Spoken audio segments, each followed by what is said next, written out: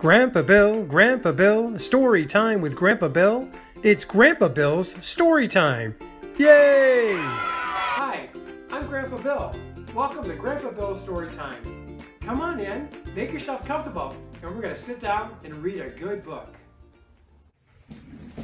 Okay, today's book is Danny and the Dinosaur by Syd Hoff. Oh, there must be Danny. Big dinosaur. The dinosaur. One day, Danny went to the museum. He wanted to see what was inside.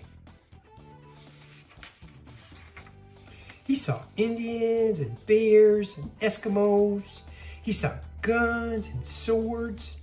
And he saw dinosaurs. Danny loved dinosaurs. He wished he had one. I'm sorry they are not real, said Danny. It would be nice to play with a dinosaur. And I think it will be nice to play with you, said a voice. Can you? said Danny. Yes, said the dinosaur. Oh, good, said Danny. What can we do? I can take you for a ride, said the dinosaur. He put his head down so Danny could get on him. Let's go, said Danny. Yay!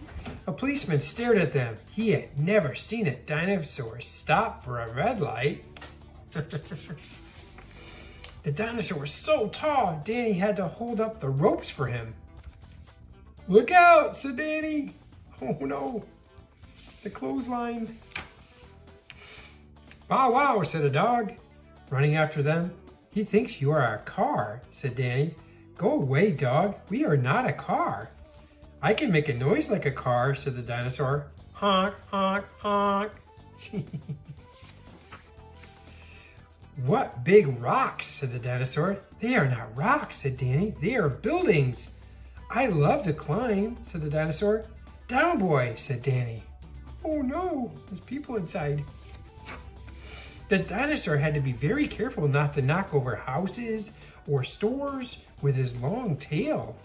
Some people were waiting for a bus. They rode on the dinosaur's tail instead. they got a free ride. All who want to cross the street may walk on my back, said the dinosaur. Oh, we made a little bridge for them. It's very nice of you to help me with my bundles, said a lady. Oh, he's a nice dinosaur. Danny and the dinosaur went all over town and had lots of fun. It's good to take an hour or two off after a hundred million years, said the dinosaur. They even looked at the ball game. Hit the ball, said Danny. Hit a home run, said the dinosaur. Ooh, he's got a good view, huh? I wish we had a boat, said Danny. Who needs a boat? I can swim, said the dinosaur. Toot toot went the boats. Toot toot went Danny and the dinosaur. Oh, it looks like fun, huh? Oh, what lovely green grass, said the dinosaur. I haven't eaten anything of that for a very long time. Wait, said Danny. See what it says? Please keep off. They both had ice cream instead. Mmm. Let's go to the zoo and see the animals, said Danny. Everybody came running to see the dinosaur. Nobody stayed to see the lions. Nobody stayed to see the elephants. Nobody stayed to see the monkeys. And nobody stayed to see the seals, giraffes, or hippos either. Please go away so the animals will get looked at, said the zoo man. Let's find my friends, said Danny. Very well, said the dinosaur. Aw. There they are, said Danny. Why, it's Danny, Danny riding on a dinosaur, said the child. Maybe he'll give us a ride. May we have a ride? asked the children. I'd be delighted, said the dinosaur. Hold on tight, said Danny. Oh, the children are playing on the dinosaur. Around and around the block ran the dinosaur, faster and faster. This is better than a merry-go-round, said the children. Whee! The dinosaur was out of breath. Teach him tricks, said the children. Danny taught the dinosaur how to shake hands. Can you roll over on your back? asked the children. That's easy, said the dinosaur. He's smart, said Danny, patting the dinosaur.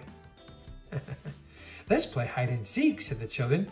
How do you play it? asked the dinosaur. We hide and you try to find us, said Danny. The dinosaur covered his eyes. All the children ran to hide. The dinosaur looked and looked, but he couldn't find the children. I give up, he said. Now it was time the dinosaurs turned to hide. The children covered their eyes. The dinosaur hid behind a house. The children found him. He hid behind a big sign. The children found him. He's too big. He hid behind a big gas tank. The children found him. They found him again and again and again. I guess there's no place for me to hide, cried the dinosaur. Let's make believe we can't find him, said Danny said. Where can he be? Oh, where? Where is the dinosaur? Where did he go? We give up, said the children. Here I am, said the dinosaur. Aw, they were being nice to him. The dinosaur wins. Yay, said the children. We couldn't find him. He fooled us. Hooray for the dinosaur, the children cried. Hooray, hooray. It got late and the other children left. Danny and the dinosaur were alone. Well, goodbye, Danny, said the dinosaur. Can't you come and stay with me, said Danny. We could have fun. No, said the dinosaur. I've had a good time. The best I've had in a hundred million years.